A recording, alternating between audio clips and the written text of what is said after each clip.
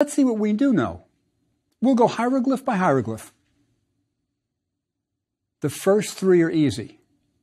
The Ankh is life, the banner hieroglyph is God, and the Nefer is good. The next hieroglyph is new. Look at it carefully.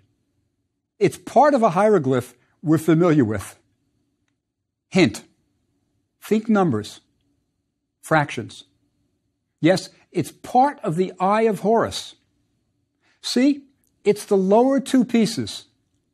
This was pronounced Teyet, and it means likeness. Next, we have the solar disk, but no stroke. So it's not day, it's Re, the sun god. Normally, we might expect the God determinative hieroglyph, but on something as small as the edge of a mirror, space is limited, so abbreviations are to be expected. Next, we have a word that looks familiar, but in a form slightly different from what we're used to. What word does it look like? Yes, per, to go forth. Remember, the actual name of the Book of the Dead is Per Em Haru, the going forth by day. This new word has the same root, but with some extra hieroglyphs. One is the little circle, which usually means something that comes in chunks. And there's some plural strokes. We also have a loaf T, so it's feminine. The word means seed, and I think it does relate to the verb to go forth.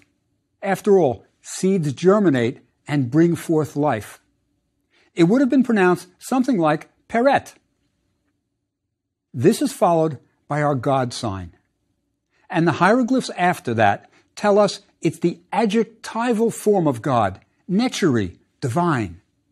So altogether, it's divine seed.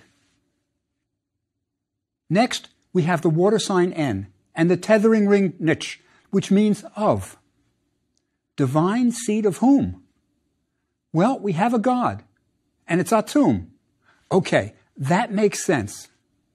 Remember when we were talking about myths and Atum created the other gods by himself?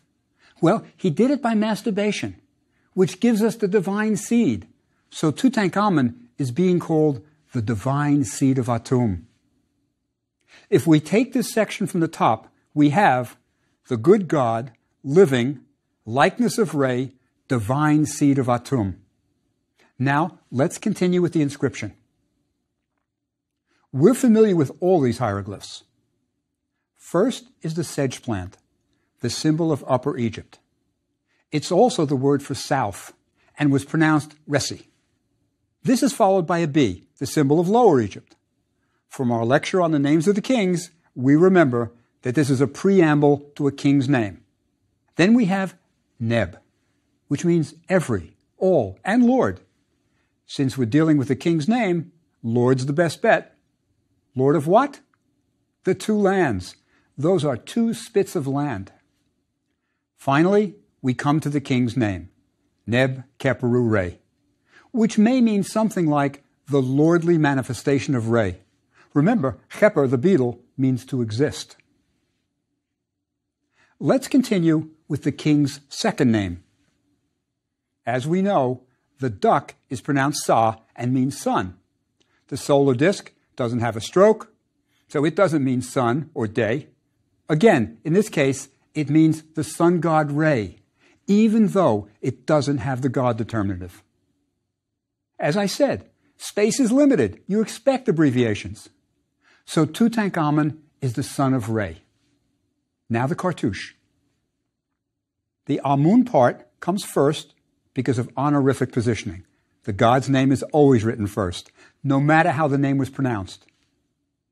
Then we have the Tut part, the loaf, chick, loaf. And finally the Ankh.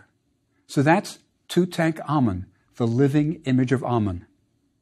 But there are still some hieroglyphs in the cartouche to translate. We have the crook, which was pronounced Heka and means ruler. Remember how on Tutankhamun's coffins he's shown holding the crook and flail, the symbols of kingship? I wouldn't be surprised if the bishop's crook in Christianity didn't come from Egypt. So Tutankhamun is ruler of what? The next two hieroglyphs answer that. The first one, a pillar, was pronounced Iunu, and it's the symbol of the city called On in the Bible and Heliopolis, Sun City by the Greeks. We've seen that before. It's easy. So Tutankhamun is ruler of On, not the one in the north. The next hieroglyph, our sedge plant, is the word for south. Tut is here called ruler of southern On, which is Thebes or Luxor. The cartouche is followed by two more hieroglyphs we're familiar with. The first is D to give, and the last is Ankh, and we can read it as given life.